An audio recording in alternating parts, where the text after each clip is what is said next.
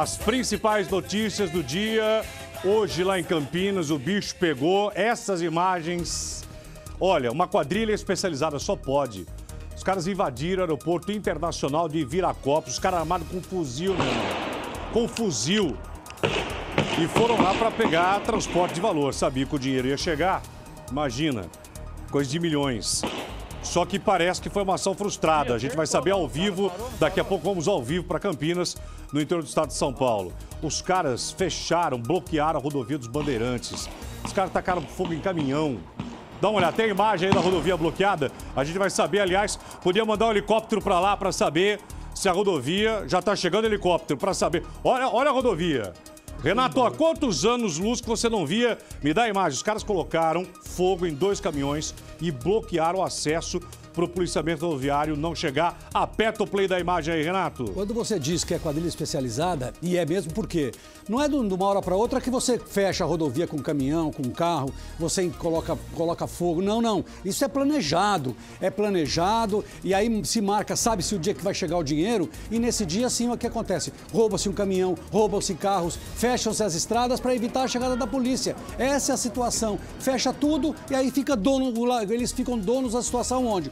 No local onde eles estão assaltando, eles vão tentar roubar o dinheiro, que é exatamente aí. Atenção, Renato Lombardi, Campinas, chamando agora ao vivo. Vamos ao vivo para Campinas. A nossa repórter Ana Paula Palazzi ao vivo. Me dá a imagem da Ana Paula para mim, por favor. Ana Paula, todas as informações fazia tempo que uma ação como essa, ela está dentro do aeroporto. A que horas foi e a polícia fala o quê?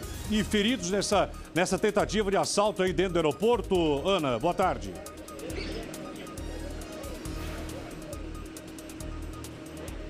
Boa tarde, boa tarde a todos. Essa tentativa, né, esse roubo, na verdade, aconteceu por volta das nove e meia da manhã. Nós estamos no ponto em que os assaltantes fugiram aqui do aeroporto. Estamos em um dos portões, né, do terminal de cargas do Aeroporto Internacional de Viracopos. É um portão que, segundo as primeiras informações, esse portão estava desativado e foi utilizado pelos, por esses criminosos para fugirem com os malotes, malotes de dinheiro. Eu vou pedir para o nosso cinegrafista mostrar. Olha só a ousadia desses bandidos. Eles utilizaram essas placas de metal que estão no meio da pista para poder eles colocaram essas placas ali na frente, onde há um dispositivo de segurança que fura pneus de carro. E eles colocaram é, então essas plataformas para poderem fugir. Utilizaram aí também um carro, um carro de uma empresa que opera aqui dentro do aeroporto para arrancar dois portões. E aqui do lado de fora, um outro carro já estava à espera desses criminosos. Há imagens que mostram esses criminosos colocando os malotes dentro desse veículo, um veículo de cor preta e fugindo sentido bairro. Eles fugiram pelos fundos do Aeroporto Internacional de Viracopos, mas na rodovia Santos Dumont Boa, eles utilizaram dois caminhões para fechar, né? Atiraram fogo nesses caminhões para fechar a rodovia Santos Dumont nos dois sentidos e utilizaram também um terceiro caminhão para fechar uma outra estrada, uma estrada que dá acesso ao bairro, a um dos bairros aqui próximos, né, do aeroporto de Viracopos. Ana, então, informação confirmada. Os malotes. Então a quadrilha chegou a levar os malotes embora, então. Quer dizer, foi uma ação violenta que deu troca de tiros aí, que pelo, nós estamos vendo as imagens, e levaram o malote, então, da, do, do, do valor do carro de transporte? Tiroteio no aeroporto. Segundo algumas imagens que nós tivemos acesso com exclusividade, essas imagens mostram os assaltantes colocando malotes. A gente ainda não sabe se esses malotes estavam com o dinheiro, mas colocando esses malotes dentro de um carro de cor preta e fugindo aqui do aeroporto. Renato. Geraldo, olha, é, as explicações da, da Ana são exatamente o que você falou e é a respeito da montagem do plano. Você não utiliza placas de aço para é, passar por cima do fura-pneu de uma hora para outra. Não que foi feito lá? Se fez o levantamento todo do aeroporto, da saída do aeroporto, da entrada do aeroporto, do trajeto do carro de transporte de valores, se fechou o carro de transporte, dominaram os funcionários que estavam no carro de transporte, recolheram os malotes, passaram com as placas de aço em cima do fura-pneu e foram embora num carro. E esse carro preto que ela disse que os, os malotes foram colocados, eu tenho absoluta certeza de que eles depois abandonaram esse carro, pegaram os malotes, passaram para um outro e para um outro até chegar num carro, entre aspas, com as placas quentes. Ó, oh, novas imagens agora. Sobe o som pra gente, faz favor, Caio. Pessoal, tá tendo... funcionário do aeroporto filmando no momento da ação, Na hora Renato. dos tiros, ele se assustou. Ele se assustou que aí você vê que balançou, balançou o celular Olha os dele. caras lá no fundo atirando, Renato. Exatamente isso. E os caras atiram, não estão nem aí. Olha a Se vão imagem impressionante. Renato, mas lá ao fundo, você vê a quadrilha cercando o carro forte. Pois é, já existia exatamente os detalhes todos, eles sabiam a chegada, a hora da chegada, o número de, de, de seguranças, quanto pra- praticamente eles iam levar, quantos malotes levar, e deu tudo certo para eles. Pode ver, é uma ação orquestrada, muito bem planejada, pra, tanto para a chegada quanto para a fuga. Olha, a Ana Paula, mais uma vez, Ana Paula, por favor, peça ao cinegrafista, nós vamos dividir a tela aí, é, para mostrar, olha só, a, a- a- o suporte, a inteligência e a estrutura dessa quadrilha que colocou até aquele fura-pneu.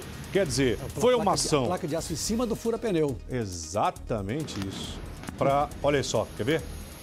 Vamos ver se a gente vai ao vivo agora para Campinas com a imagem. Olha lá, Renato. As placas ali, essas placas, então, porque assim, na fuga, eles entraram no aeroporto. Fatalmente, na saída, levanta-se o fura-pneu, fura o pneu do carro, a segurança vai atrás. Não, eles colocaram as placas e levaram as placas junto e arrombaram os portões. Olha, é uma coisa muito, muito, muito bem planejada por criminosos, claro.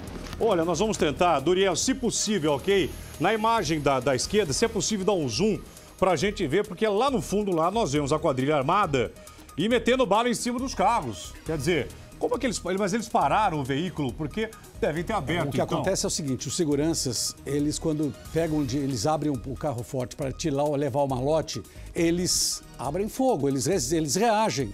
E aí, por quê? O que acontece? Quando, quando os seguranças ficam dentro, não abrem o carro forte, os criminosos explodem. Aí não, aí você vê que o carro forte estava parado exatamente para descarregar os malotes quando eles atacaram, foram atacados.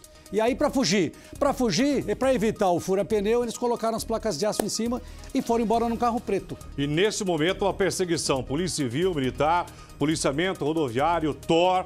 Todo mundo agora está acontecendo uma perseguição agora lá em Campinas. Aí, o cerco em bairros vizinhos. Eu não tenho dúvida nenhuma que o planejamento foi feito também para fuga. Então você, você fecha três estradas, duas estradas, e aí você foge por onde? Foge por vias vicinais. Nessas vias vicinais é o que você faz, eles fazem a troca do carro. A troca de um, dois carros, e aí vão embora com o carro sem nenhum problema com a placa, e aí nessa altura do campeonato deve já estar contando até o dinheiro, viu, Geraldo? Uma ação violenta em Campinas, invadir o aeroporto internacional de Viracopos. Para você que está chegando agora, o cerco neste momento está acontecendo. Nós não sabemos ainda, nós vamos confirmar daqui a pouco, a gente volta com a Ana Paula, se nós temos aí feridos, porque os caras, os caras não economizaram na bala. Agora você veja o seguinte, veja a audácia dos criminosos. Viracopos é um aeroporto internacional também. E aí eles atacaram Viracopos. Eles atacaram Guarulhos há pouco tempo, roubaram mais de 700, 700 quilos de ouro. Até agora não foi um grama sequer de ouro foi recuperado. É, um grama sequer. A gente não esquece disso não. Exatamente, Guarulhos, cara, levaram lá um mundo, um caminhão de ouro 700 quilos de ouro. e até agora nenhuma grama. Um- nada, nada. Nada. Não. É, só os peixes pequenos, porque isso aí é coisa de gente grande. Os caras têm armamento pesado, têm informação que parte de dentro do- do- dos aeroportos. E mais, os caras que vão para isso aí vão por tudo ou nada. É a cobertura completa, daqui a pouco, Ana Paula, a gente volta. Essa é a imagem. Olha lá, Renato. Então, olha, então, são dois carros de valores, ó. São dois carros de valores que chegaram, porque eles abastecem tudo ali. E aos fundos, os e caras... os criminosos atacando. Você vê que eles sabem, eles já estavam esperando a chegada dos carros fortes. É cena de filme. Não, não, é, é cena de não, se, isso aqui não é, e é verdade, não é ficção não, é pura verdade, ó, tá vendo? Eles atiram, atiram com fuzis e os fuzis são, eles, os tiros são disparados em função do quê? De onde estão os, os seguranças do carro forte. E aí eles são obrigados a sair. Aí, houve o roubo. Campinas urgente. Vocês estão com a gente aqui, já estão sabendo que de manhã uma quadrilha invadiu lá o setor de cargas ah, do Aeroporto Internacional de Viracopos. Uma violenta troca de tiros, dispararam eh, caminhões incendiados eh, na rodovia aí da- dos Bandeirantes para tentar impedir a fuga da polícia. A informação que a polícia, na troca de tiros, matou que teriam dois assaltantes mortos e que nesse momento uma moradora, o bandido invadiu uma, uma residência no bairro vizinho e que nesse momento, nesse momento agora, é, esse bandido faz refém. Nós vamos ter imagens ao vivo de Campinas, nosso helicóptero também chegando lá, ok?